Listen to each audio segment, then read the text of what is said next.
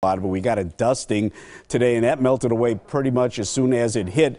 Do you know we've only had one snowfall that was of any uh, significance this winter season 6.7 inches uh, back on January 12th and the 13th. All the other snowfalls have been under three inches. Uh, today we hit 39 degrees. Inland we hit the 40s. Average should be around 33. Morning low 26. That's mild.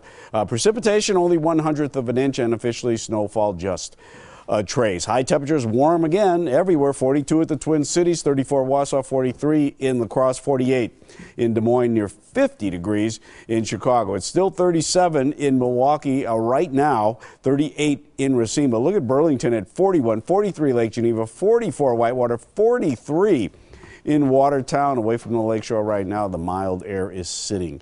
And we're looking at Viper radar right now. What we're showing is that one band of snow showers has already crossed the lake and is out over lower Michigan. A couple of snow showers across northeast, northwestern Wisconsin. Some of those could sink down here a little bit later on tonight. The satellite shows that we did have some sunshine earlier today. Then that burst came through, and then the burst is gone. Then we had more sunshine, and here comes another area of clouds in from the west. The front will be rolling through. We'll get slightly cooler air, but we'll still be in the mid 30s for much of the weekend. And then another active pattern uh, for early next week.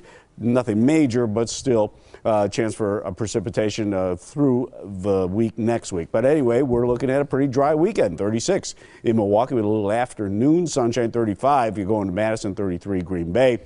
And then amounts, uh, amounts to much of the same on Sunday. A lot more sunshine 37 Madison and La Crosse, 35 Green Bay, mid 30s again in Milwaukee. So for tonight, uh, partly to mostly cloudy skies. Could see a few snow showers or flurries. Again, they won't accumulate to anything. 24 Waukesha, 27 in the city. Tomorrow, decreasing clouds uh, after some a little bit of morning cloudiness. A little cooler also, 36. Not bad for this time of the year. For tomorrow night, 24 with clear to partly cloudy skies, and on Sunday, mostly sunny and a high of 35.